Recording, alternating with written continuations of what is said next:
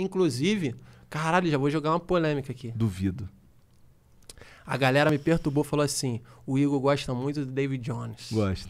Ah, é, mas tu teve uma pira com ele, não foi?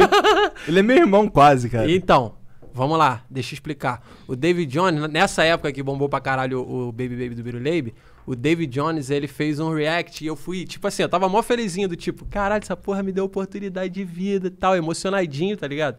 Aí eu vi o react dele assim e falei, pô, maneiro, vou ver. Tal. Aí ele descendo a lenha. Esse bagulho é ridículo. Não tem. O que, que ele falou? Não tem a menor graça do mundo. Aí eu. Braca, acho que eu tava num ônibus de viagem, assim, tá ligado? Eu peguei o celularzinho, juro pra tu, joguei cabecinha de vidro aqui, ó. Cabecinha no vidro, falei, pô, mas de repente eu não sou tão bom assim. Aí, tipo. Cabecinha no vidro, aquela Cabecinha chuvinha. de vidro e chuvinha, mano. tô ligado.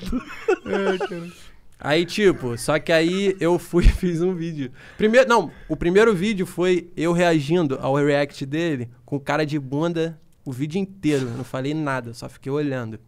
Aí eu começo a rir no final. Eu adoro David Jones. Acabou. isso, acabou o vídeo. Beleza, seguiu, seguiu, seguiu. Aí ele veio com o bagulho do Ticolé Aham. fez um react lá do Ticolé na época que bombou. E aí ele também desceu a lenha no moleque do Ticolé. Aí eu vim e falei, ah, mano, eu vou vir a favor dos memes. Aí lancei uns vídeos defendendo do meu lugar de fala. Os memes não podem ser criticados. E o caralho, comecei. E aí eu fiz uns vídeos meio exagera... a- exagerados, zoando ele. Mas eu, eu não sei, mano. Eu, eu queria, inclusive, falar, David Jones, se estiver assistindo esse trecho aqui que eles vão cortar da polêmica, conversa comigo, pô.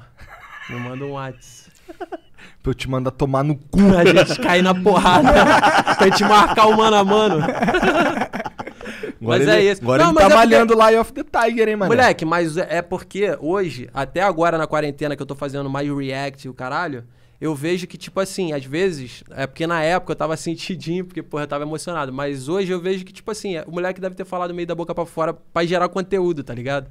Eu tô fazendo isso, tá ligado? Então, tipo, eu sei que não, não foi. foi- Deve Com ter sido. certeza ele não te odeia, tá ligado? É, exatamente. Mas aí eu, eu também, enfim, vim em minha defesa. Pau no cu dele também.